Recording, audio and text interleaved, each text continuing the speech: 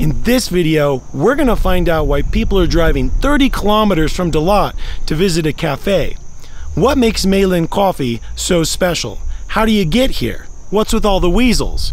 Find out this and more on today's episode.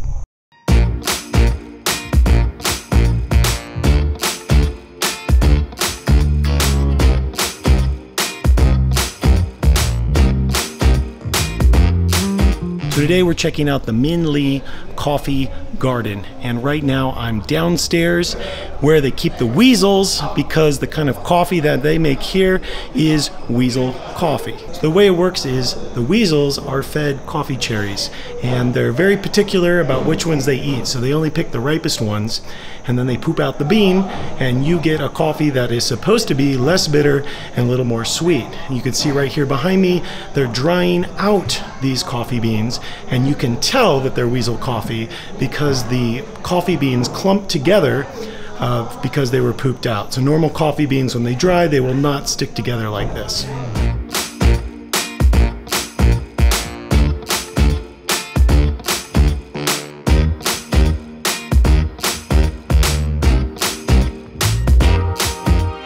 The views here are absolutely stunning. Definitely worth a visit if you just want to see beautiful valleys, rivers, mountains.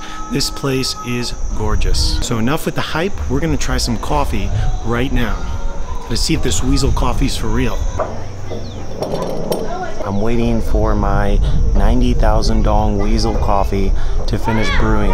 I can't wait to try it. I've heard great things about the weasel's digestive system removing the bitterness from the robusta bean and making a sweet coffee. So I can't wait to taste this and let you guys know uh, whether or not this 90,000 dong coffee is worth it because it is maklam, my friends.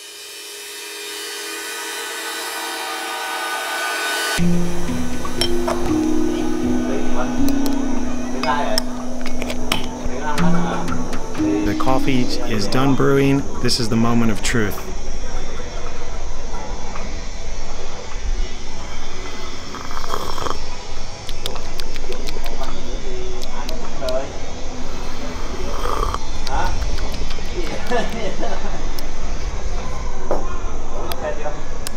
I'm not gonna lie to you guys, I like being positive. I wanted this vlog to focus on the best aspects of everywhere we go, but there also has to be some honesty with you. I don't want you guys to come here expecting something and it to be different. And to tell you the truth, that coffee was bitter as heck. That was, that was so bitter. So my suggestion is if you're not going to mix the coffee with condensed milk or sugar, then you might want to head to another place that has Arabica coffee because the coffee here is just as bitter as the Robusta I've had all throughout Vietnam.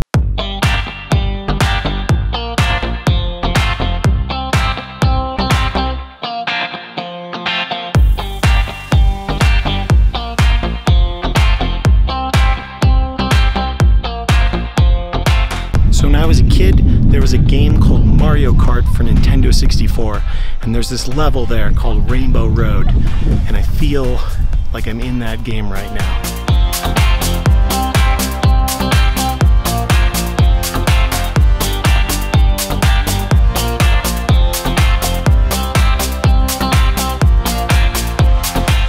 So I hope you guys enjoyed the video today. I think I gave you a pretty balanced view of my opinion on this place. It's about a 30 kilometer drive. You can rent a motorbike from Saigon to get here. The drive here is really, really beautiful, so don't skip out on that. Just come here, put a little condensed milk in that coffee, and I think you should be okay. Please subscribe and like and share this channel. Hit that notification bell. Check out saunderhills.com, and I'll see you guys in the next video.